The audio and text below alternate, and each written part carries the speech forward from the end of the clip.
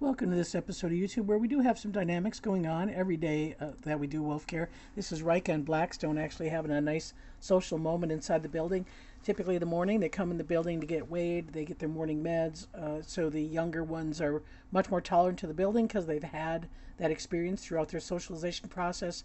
Axel Grayson, not so much. So the problem is, though, one moment in time can change, and here Blackstone has decided to take a little bit of an advantage over Rika and actually sitting on her, creating a little bit of tension from Rika. Rika certainly, uh, it's not an endearing thing to have a wolf sit on your head, and those moments can then kind of spill over into other activity. And so here is a 10 o'clock at night uh, shot on the 3rd of July.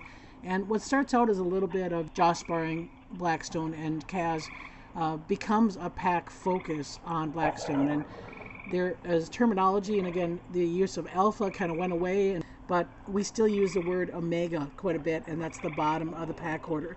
Sometimes we just hear barks, and we hear bark howling, but we don't have any ability to know what's causing it. So then we kind of have to go back to the surveillance cameras, check it out, and that's what Grayson's uh, doing here at a you know 6:45 in the morning Something's got him pretty agitated, and nobody else is replying.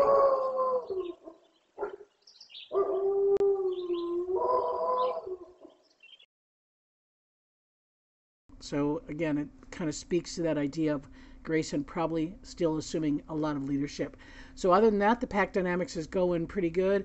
Axel's responding to his treatment. His hair is growing in, so that's a real promising sign. And Kaz and Rika are having their moments. And one thing you'll notice on the side of Kaz here, he's got a little bit of a wound there. He had some pine pitch that was stuck to his hide, and he pulled it off, creating a little bit of an opening. Then he started licking on it, and it's kind of opened up quite a bit more. So he's being treated on a regular basis with some antibiotic powder. He's on oral antibiotics as well as an anti inflammatory. Uh, doesn't bother him at all. He's just doing his same old Kaz wrestling. But these yearlings are still very submissive to the adults, and that's a good sign from the standpoint of them not pushing and uh, testing rank order at this particular time. But you also notice that they're running with Grayson, um, again, following him along. So, what's changed this week uh, to help uh, Kaz heal. We've decided to drain the pond. Plus, we had another pollen issue. It's been hot, and we've had a lot of vegetation growth and a lot of algae and things that are just making it hard for the UV filter system to keep up with. So, easier to just to drain the pond, give Kaz a couple of days for that wound to dry, and again let that pond sit. It's a cooler uh, pattern of weather here in the next couple of days. Plus, we expect some rain tomorrow, uh, so that will help out. Uh, he does like to swim, so he's in that water quite a bit, and you can see Rika responding to the drain and that water movement and sound. Um, and Kaz actually trying to bite at the drain there. That's kind of an interesting stimuli for them. So another stimuli was snow. Uh, the wolf care team had the foresight to uh, save nine pails of snow um, this spring in the freezer to bring out on the 4th of July. So it was uh, 4th of July snow cones here for the wolves.